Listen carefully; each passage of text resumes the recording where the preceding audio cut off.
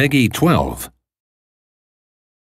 The girl's name is Rorolina Frixell. But everyone in town just calls her Rorona.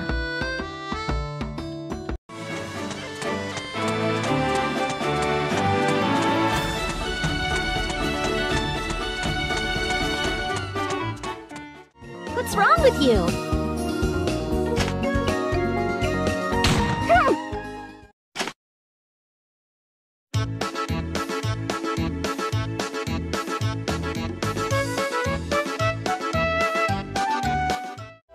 Over the next few years, Arland prospered dramatically, thanks to the machines. Which enabled all citizens to live a life of leisure and luxury.